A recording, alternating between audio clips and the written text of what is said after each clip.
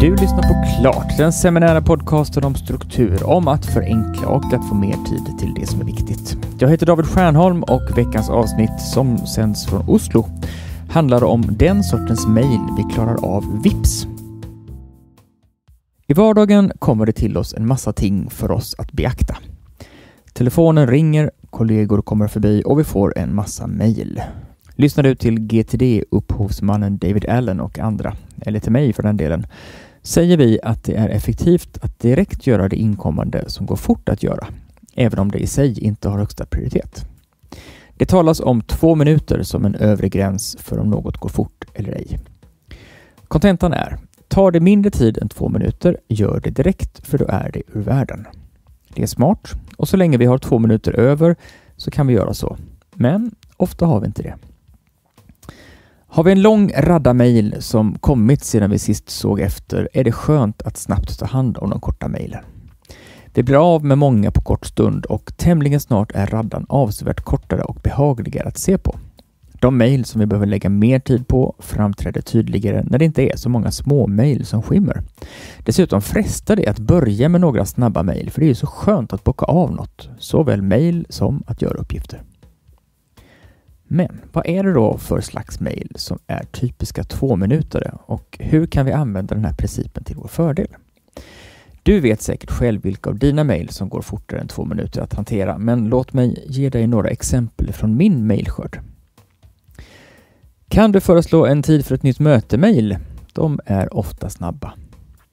Jag kan kolla kalendern snabbt och föreslå en tid, men oftast bakar jag ihop fyra, fem tidsförslag i en doodle-förfrågan och skickar en länk för att undvika att vi hamnar i mail-pingpong av typen jag kan då, kan du? Nej, men jag kan då, fast då är jag upptagen. Kan du då då? Och så vidare.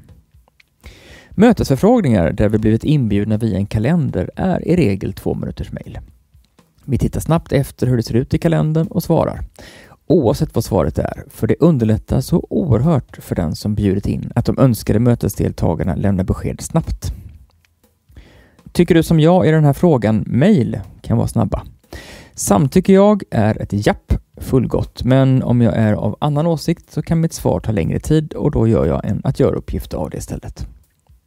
Okej, då gör vi så. Mejl, som är sista bekräftelsen på att vi är överens i något vi diskuterat, de är snabba, för de är att likna vid walkie-talkie-samtalets klart slut, läs och släng eller spara. Trevlig helg-mail och andra sådana hälsningar, de är snabba. Och så blir man glad dessutom. För din information-mail, kanske taggade FYI som i For Your Information i ämnesraden, eller där jag är CCad, de är oftast snabba. För de torde inte kräva någon aktivitet från min sida, bara en snabb genomskumning. Kräver de mer idog läsning som tar längre tid, låt oss då skriva en att göra-uppgift av mejlet, för att läsa är också ett verb och tarvar därför en att göra-uppgift. Slutligen, reklammejl från avsändare jag vill ha reklam ifrån. De är också två minuter. En hastig titt följs oftast av ett snabbt tryck på delete-knappen och mer sällan av att jag formulerar en beställ någonting uppgift. Ja, så där är det för mig. Säkert har du fler eller kanske helt andra exempel.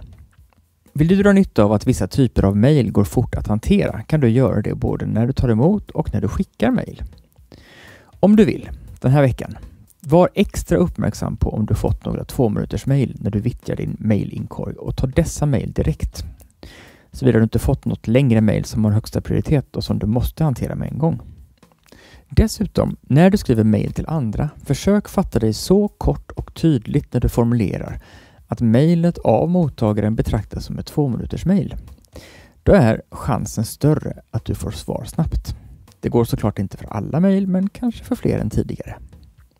Om du betar av de korta två minuters mejlen först blir mejllistan snabbt kortare.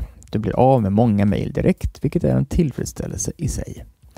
Håller du fler av dina egna mejl korta underlättar du arbetet för mottagaren och eftersom du då får svar snabbare så kommer detta dessutom dig själv till gagn. Har du andra exempel än jag här räknat upp på mejl som är uppenbara två minuter? Skriv till mig och berätta så kanske jag finner än fler nyanser av den här aspekten av att arbeta strukturerat. Du når mig som vanligt på david.stjärnholm.com och jag är idel öra.